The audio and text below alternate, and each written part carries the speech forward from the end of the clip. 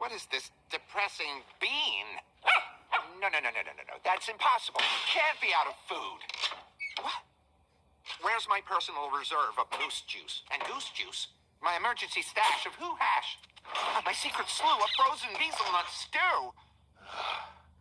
I specifically bought enough food to last until January. How much emotional eating have I been doing?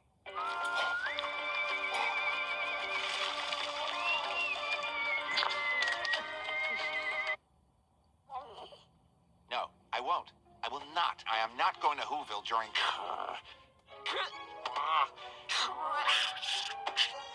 Christmas!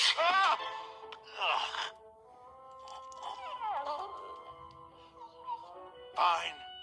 But I'm gonna despise every second of it. Come on, Max.